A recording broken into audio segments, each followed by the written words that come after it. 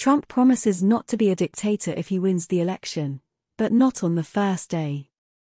During a Fox News event in Iowa, Donald Trump vowed not to be a dictator if re elected as president, except on day one, which he would use to close the southern border with Mexico and expand oil drilling.